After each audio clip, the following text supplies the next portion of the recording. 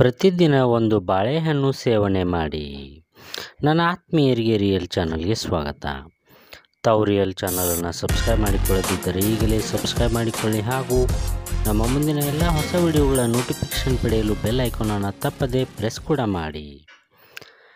ಪ್ರತಿನಿತ್ಯ ಬಾಳೆಹಣ್ಣನ್ನು ಸೇವನೆ ಮಾಡುವುದರಿಂದ ನಮ್ಮ ದೇಹಕ್ಕೆ ಹಲವಾರು ಪ್ರಯೋಜನಗಳನ್ನು ಪಡೆದುಕೊಳ್ಳಬಹುದು. ಜೀರ್ಣಕ್ರಿಯೆ ಸರಾಗವಾಗಿ ನಡೆಯಲು ಮತ್ತು ದೇಹದ ಆರೋಗ್ಯವನ್ನು ಕಾಪಾಡಲು ಪ್ರತಿನಿತ್ಯ ಬಾಳೆಹಣ್ಣನ್ನು ಸೇವನೆ ಮಾಡಬೇಕು.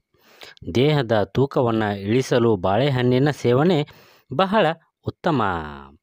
ಇದರಲ್ಲಿ ಪ್ರೋಟೀನ್ ಮತ್ತು ನಾರಿನ ಅಂಶ ಹೇರಳವಾಗಿದ್ದು ಬಹುಬೇಗ ಹೊಟ್ಟೆ ತುಂಬಿದ ಭಾವನೆಯನ್ನು ಕೊಡುತ್ತದೆ.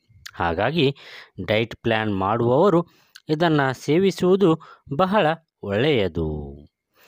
ಇನ್ನು ತ್ವಚೆಯ ಆರೈಕೆಯನ್ನು ಮಾಡುವಂತಹ ಬಾಳೆಹಣ್ಣು ಮೊಡವೆ ಬಾರದಂತೆ ನೋಡಿಕೊಳ್ಳುತ್ತದೆ.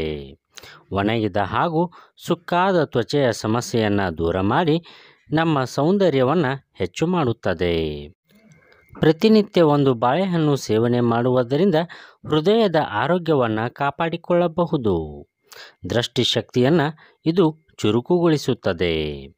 ಮಕ್ಕಳಿಗೆ ಪ್ರತಿನಿತ್ಯ ಒಂದು ಬಾಳೆಹಣ್ಣು ತಿನ್ನಲು ಕೊಡುವುದರಿಂದ ಹೊಟ್ಟೆಯ ಎಲ್ಲ ಸಮಸ್ಯೆಗಳು ದೂರವಾಗುತ್ತವೆ.